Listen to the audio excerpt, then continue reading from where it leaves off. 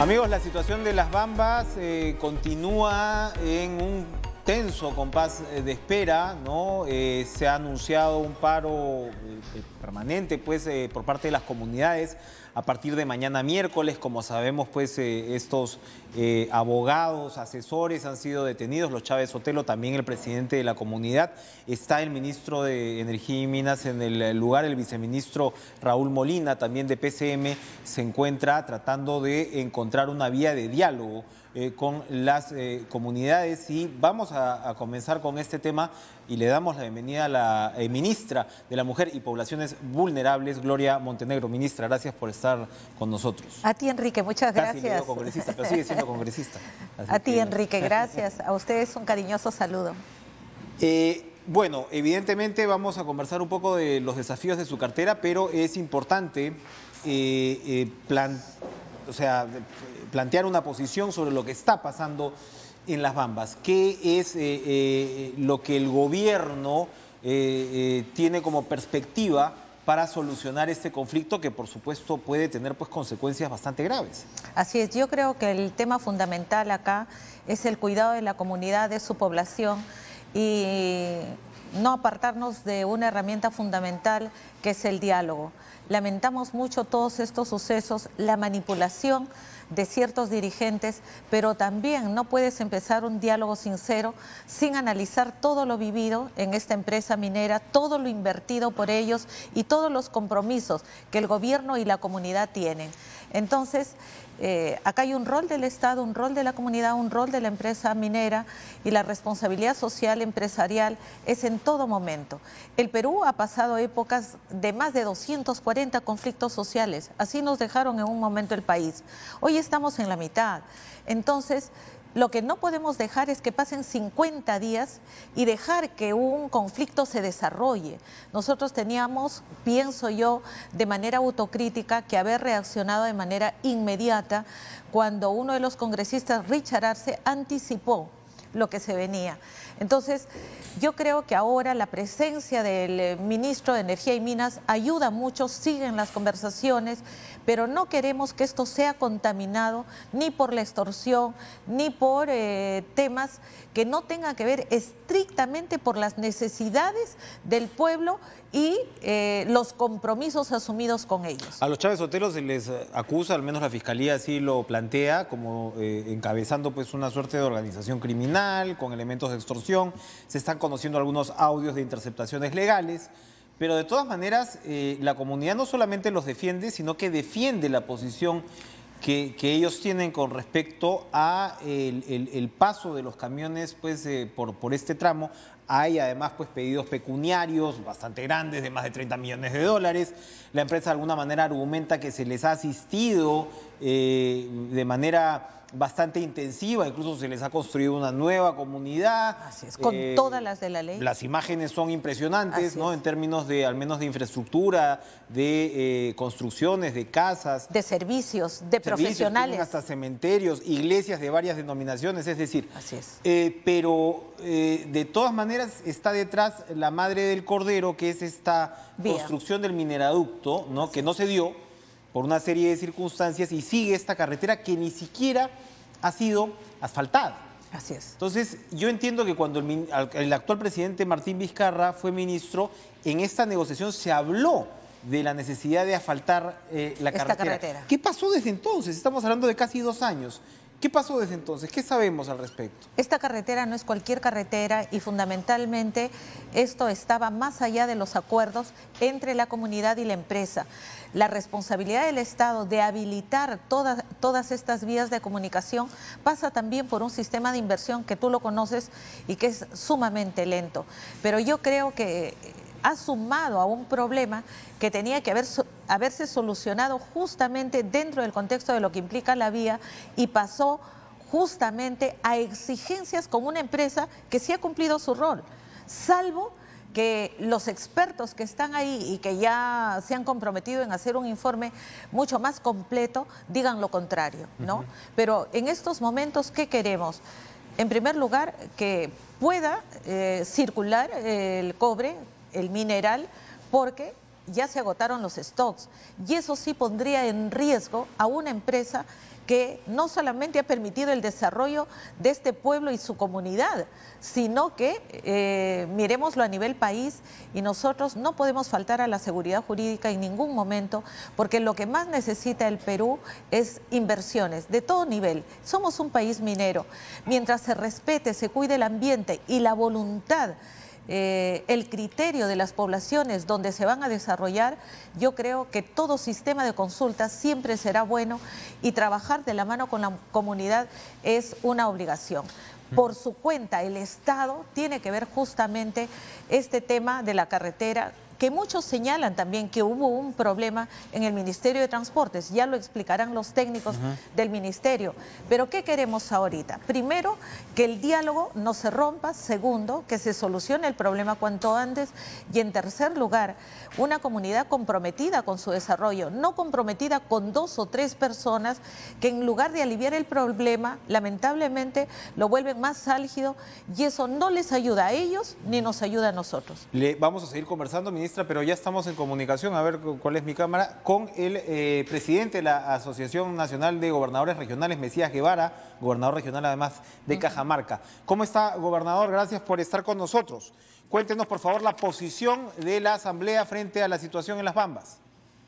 Buenas noches, Enrique. Un saludo cordial para todos los hermanos de toda la región de Cajamarca y del Perú en general, pero sin embargo en esta noche queremos ver Las Bambas la verdad que nosotros en la Asamblea Nacional de Gobierno Regional estamos muy preocupados por lo que viene ocurriendo en Apurímac, por lo que nosotros expresamos nuestra invocación pública, tanto al gobierno regional como al propio Ministerio de Energía y Minas, a la PCM y al Ministerio de Transportes, para que privilegien el diálogo y de esa manera tengamos una solución dentro de lo que se refiere a la civilidad, porque lamentablemente en los últimos años no se ha privilegiado no se ha privilegiado el diálogo lo único que se ha hecho es hacer uso de la fuerza y eso creo que nosotros no podemos permitir. Eh, ¿Qué sabemos en términos de, claro, esta es una situación compleja, eh, se ha detenido a estos asesores abogados Chávez Otelo que parece que tienen un eh, eh, historial, incluso hasta de extorsión, no sé si llamarlo aprovechamiento, algunos eh, se han referido a, ese término, pero por otro lado está lo que se supone serían las demandas justas de la comunidad. ¿Usted ha podido tener contacto con las autoridades regionales a las cuales les toca ya más directamente el tema? Hablamos de Cusco y Apurímac. Bueno, nosotros hemos estado en coordinación a través de nuestros asesores porque también nosotros en nuestras regiones estamos teniendo problemas, en caso de Cajamarca, de inundaciones, el caso del norte del Perú, pero lo que nosotros eh, volvemos a, solicitar es de que en primer lugar que tú manifiestas de que el Ministerio Público y la propia, el propio sistema de justicia, el Poder Judicial, hagan una investigación profunda para esclarecer los hechos, que no solamente se sustenten en los antecedentes que estás manifestando, y por otro lado pedir también a la empresa Bambas que cumpla con lo que significa los temas relacionados con los acuerdos que ellos han tomado. Y por otro lado, el Ministerio de Transportes, que también hay que invocarle que solucione el tema de la carretera, porque uno de los acuerdos que tuvieron ahí en, la, en Bambas era que el mineral no salga por toja abierto, pero sin embargo está ocurriendo todo lo contrario. Mesías Guevara, muchas gracias. Esperamos tenerlo en los estudios la próxima vez que esté por aquí por Lima. Gracias, Enrique. Un saludo para todo el Perú. Muy buenas noches. Hasta luego. Gracias y saludos a esa hermosa tierra cajamarquina. Ah, hablaba usted, ministra, de eh, la responsabilidad que podría alcanzar a funcionarios o exfuncionarios, probablemente, del Ministerio de Transportes y Comunicaciones con respecto a esta famosa carretera. Hace años los periodistas que más o menos vemos estos temas estamos hablando de este tramo de la carretera, eh, y de el mineral, ¿no? que se supone levanta toda una polvareda, estamos hablando de 300 camiones. Se habló también durante años de que esto iba a ser tecnología de punta, ¿no? que no iba a haber ningún problema, que los camiones estaban totalmente tapados, eh, que por supuesto se hablaba de una vía asfaltada, pero al parecer no ha pasado ni lo uno ni lo otro. No sé en realidad ya sobre el tema de los camiones en sí, pero el hecho es que la vía no se ha asfaltado. Entonces, se supone que la empresa ha estado colaborando, entiendo yo, en incluso estudios de preinversión. Así es. Pero no ha llegado el, eh, eh, el, asfaltamiento de la vía, ¿no? Eh, nosotros vamos a escuchar mañana, justamente, mañana tenemos el Consejo de Ministros, vamos a escuchar la exposición del ministro de Transportes para ver desde el origen del problema cómo se ha ido dando todos estos sucesos, pero también ver y analizar, como dice mi colega Mesías, que a nivel nacional hay una serie de proyectos que podrían estar avanzando de la mejor manera, porque lo que más requiere el Perú es inversiones. Las inversiones se traducen en empleo digno y en un empleo que permite mejorar la calidad de vida en los ciudadanos de estas comunidades y que lamentablemente por falta de diálogo y de prevención no están avanzando. No te olvides que uno de los retos de este gobierno cuando se inició era destrabar una serie de proyectos de inversión que tienen que ver con minería, que tienen que ver con agroindustria, que tienen que ver con pesca, y eso es lo que se requiere. Por eso es que el sistema de diálogo es, un, eh, es una herramienta casi permanente hasta llegar a los mejores términos de la solución del problema. Y te hablaba de la cantidad de conflictos sociales, la mayoría de ellos que tienen que ver con temas medioambientales y que cuando la comunidad ha entendido el problema, se ha confundido con los intereses de su desarrollo y el de la empresa, se ha podido sacar adelante importantes proyectos. Yo creo que hacia eso debemos caminar y esperamos que el Ministerio de Transportes, el Ministro de Energía y Minas y eh, el viceministerio de Gobernanza, que depende de la PCM, pongan toda su energía para que mañana tengamos ya buenas noticias. Vamos a una pausa. Claro que sí. pausa y regresamos con mucho más en Caracas.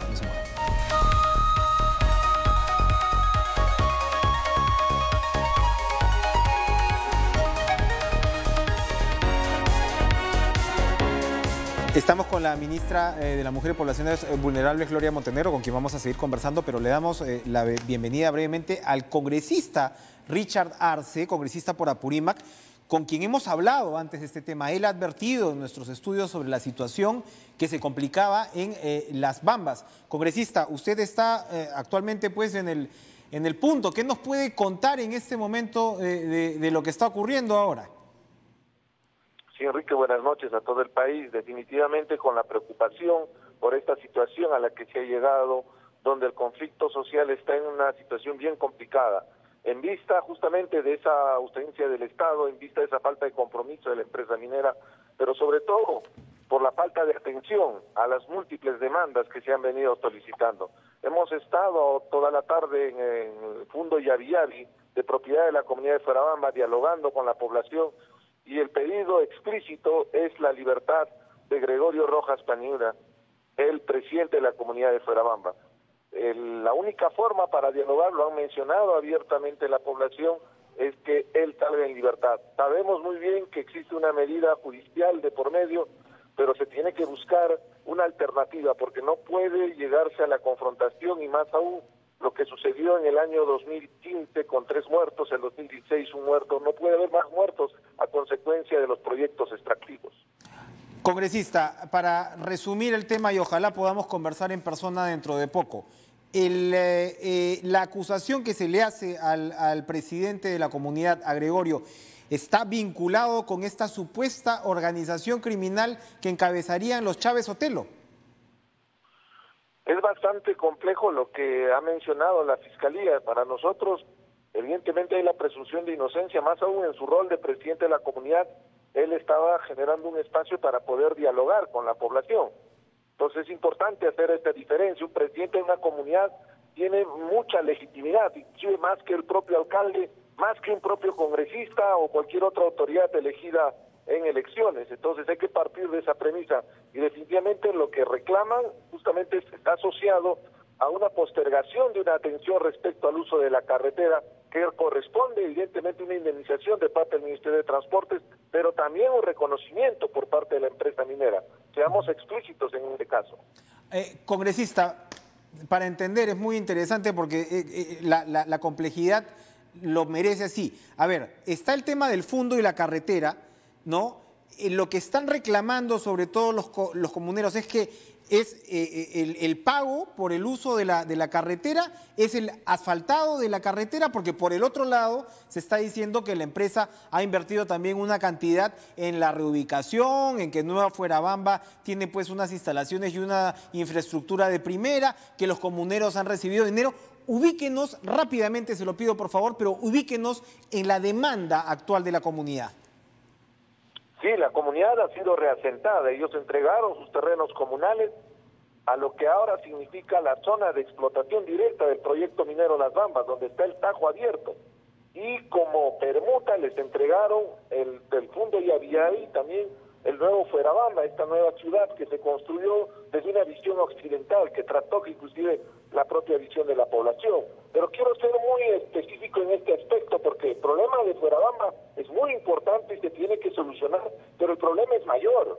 Hay 42 comunidades que no han recibido atención del gobierno durante todos estos años y la empresa no ha atendido los problemas que se han, que se han originado. Y evidentemente esta situación va a seguir escalando si es que no se ve de manera integrada una alternativa de solución para generar un plan de desarrollo que justamente el presidente Vizcarra firmó el año 2016. Yo creo que por ahí está la alternativa de solución, más que estar pensando en dinero. Tiene que cambiarse la forma de relacionamiento que existe de parte de las empresas mineras y sobre todo también del Estado. Las empresas mineras no pueden estar sustituyendo el rol del Estado, no pueden encargarse de temas de salud, de educación, de producción, cuando eso es responsabilidad del Estado. Y eso significa que la empresa también se comprometa con las contrapartes respectivas. Pero evidentemente lo que ha sucedido durante este tiempo es esa ausencia del Estado y ha llegado a este extremo, donde uno de los problemas, como es el caso de Fuerabamba, se está exponiendo y se está llegando a este extremo de polarización que esperemos no trascienda más allá. Gracias, congresista. Sí. la responsabilidad de parte de los medios y evidentemente de todos los interactores. Bien. Le agradecemos, congresista, nos ha eh, aportado pues información muy valiosa para entender lo que está pasando en este momento en eh, Fuerabamba. Ministra Gloria Montenegro, esperamos entonces, bueno, que la situación, eh, como usted señalaba, se vaya despejando en los próximos días y se vayan estableciendo responsabilidades. Aquí sin duda, todo indica, va a tener que el Estado reconocer ¿no? lo que le toca también. Así es. Y también las autoridades locales y regionales que no pueden romper la comunicación con el gobierno central. Necesitamos que todo aquello que implica el rol del Estado, rol de los gobiernos locales y regionales, sea también debidamente articulado y fortalecido en favor de la gente en las comunidades. Y además tenemos que respetar los liderazgos locales, que como muy bien lo dice Richard, no podemos entrar a una mesa de negociación estando en contra de Así ellos. Es una situación Entonces, yo creo que mucho más en zonas rurales y en zonas de pobreza como estas. ¿no? Cambiemos de tema un, poco, ministra, porque ahora lo comentábamos fuera de cámaras, yo en algunos eh, canales de noticias, ¿no? emisoras, en fin, he visto hoy que se transmitían las declaraciones de la congresista Rosa Bartras. Todo el día. La, bueno, ella explicando por qué había llamado inepto a Vizcarra y luego los supuestos entredichos dentro de Fuerza Popular, pero en un lapso de cuatro o cinco horas mientras trabajaba lo debo haber visto, no sé, 15 veces. ¿Qué, qué significa esto? ¿Qué, qué, a, qué, ¿A qué está jugando Fuerza Popular o qué está pasando con la interpretación de estas declaraciones de Fuerza Popular? Sí, ¿Qué, ¿Qué, opina al respecto? La, verdad que me extraña no tanto las declaraciones de Bartra, porque en otras oportunidades hemos escuchado decir esos proyectos mamarrachientos o hemos visto, visto muchas actuaciones desde, desde la bancada del Fujimorismo. Eso no nos extraña, es más bien hacerles un llamado, porque ellos mismos se han comprometido a un trabajo más cordial y más empático con el Ejecutivo. Y hemos escuchado eh, a su vocero, el señor Tubino a comprometerse por, no, no, por su bancada, por el país, lo ha dicho muy claramente. Y sin embargo, tampoco entiendo la actitud de un medio de comunicación que tenga todo el día que repetir la misma declaración. Entonces, si la estrategia es convencer al pueblo peruano de que eh, hay alguna línea de acción en donde debemos escuchar para poder tener eh, alineada a todas las fuerzas políticas pues no da resultado porque la gente protesta y dice, ¿qué pasa acá? ¿Yo por qué tengo que escuchar algo que no debo? Porque no solo... ¿Por qué lo tengo que escuchar 18 veces? Así es. y además... Cada quien es libre de emitir lo que... Y además tengo que respetar al presidente de la República, pero también debemos respetarnos todos mutuamente. Sobre todo en una época eh, de conflictividad social, en una época en donde tenemos que priorizar la parte de dar respuesta a la ciudadanía en sus principales problemas y como se está haciendo en muchos lugares.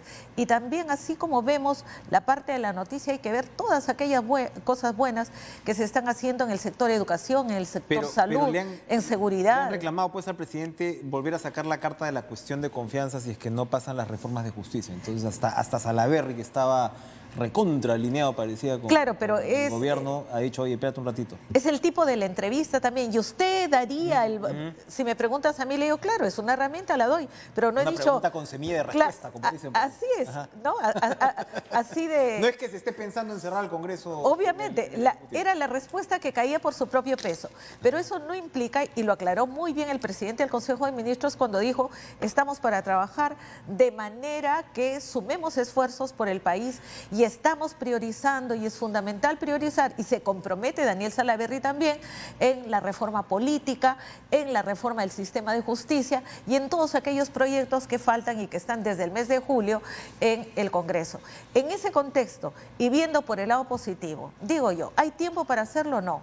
Estamos en el momento oportuno. ¿Hay tiempo? ¿Hay tiempo? ¿Hay tiempo para llevar a cabo estas reformas? Por supuesto que sí. ¿No sería interesante compaginar una agenda? Porque claro, lo que pasa también es que el Fujimorismo yo creo que está buscando una forma de decir, yo existo, por si acaso, ¿no? O sea, también hay, pero podría ser eh, desde otro ángulo, ¿no? O sea, podría ser un entendimiento político que presente finalmente al país un marco de reformas adecuado. Enrique, lo dije desde un inicio y se los dije en los plenos como una intervención donde subrayaba qué hubiese pasado si es que el Fujimorismo hubiese decidido apoyar al Ejecutivo desde un inicio en aquellos temas que correspondían y que el Perú necesitaba y cuántos proyectos se han traído abajo simplemente por, una orden que no tenía sentido común, sino las ansias de más poder. Entonces, en ese contexto podíamos haber avanzado muchísimo y ellos no estar donde están. Entonces, ¿qué nos queda en estos dos años y meses?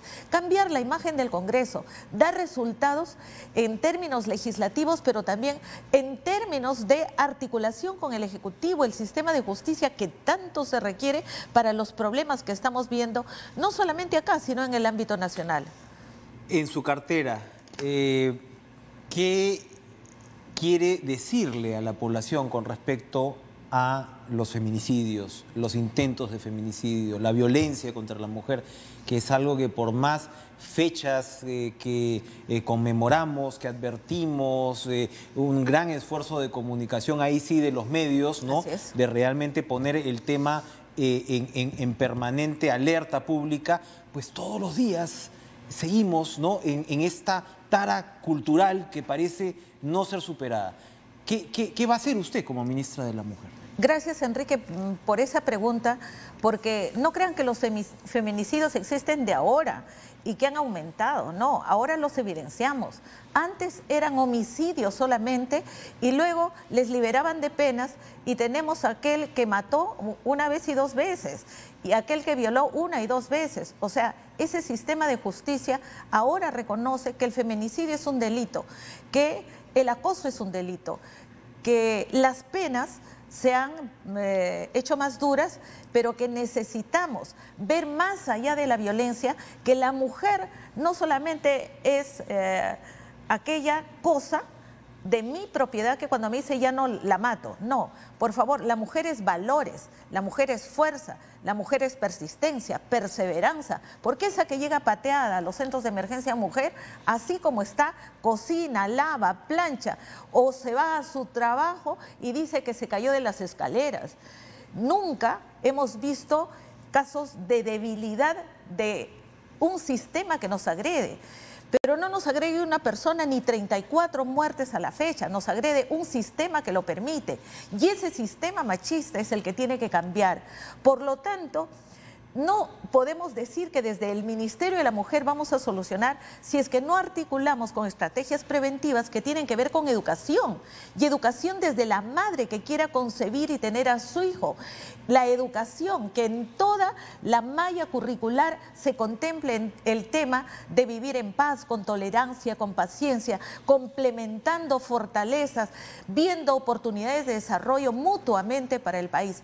Ese sistema machista es el que tenemos que derrotar y ahí los medios de comunicación sí que ayudan mucho, pero tenemos que entrar ya a la estrategia de no ver la violencia como el tema central, sino la violencia como el tema que vamos a derrotar y más bien cuál es la estrategia de prevención. Quiero, quiero precisamente para terminar, luego después de la pausa, que nos cuente las dos digamos, puntas. El tema de la prevención, cuál es la estrategia puntual que se está abordando.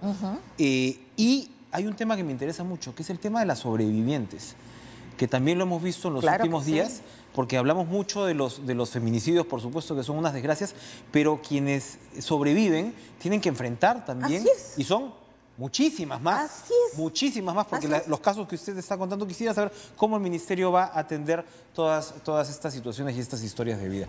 Ya volvemos después de la pausa.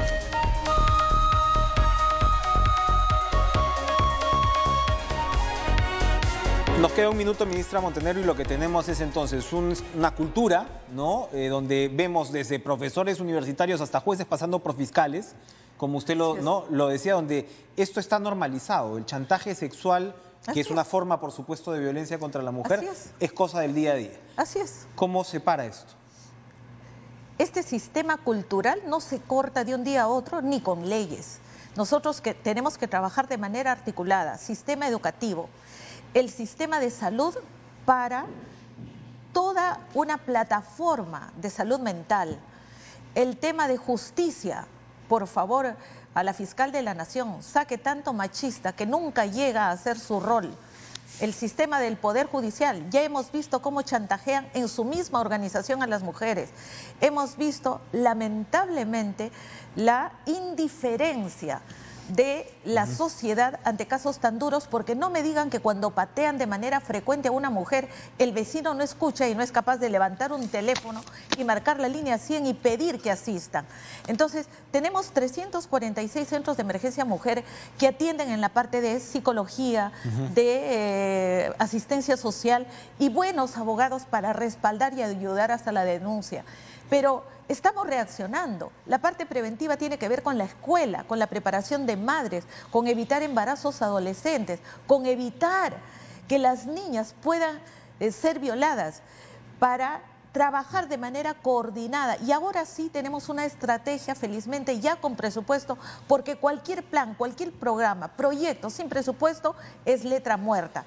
Ahora es, en este gobierno tenemos el presupuesto para la parte preventiva, para trabajar con salud, educación, trabajo, justicia, todo el sistema de justicia que espero que se ponga las pilas. Tenemos el presupuesto y se nos terminó el tiempo. Gracias, ministra, por acompañarnos mucho más para comentar. Eh, por supuesto, eh, la coyuntura nos ha ido ganando.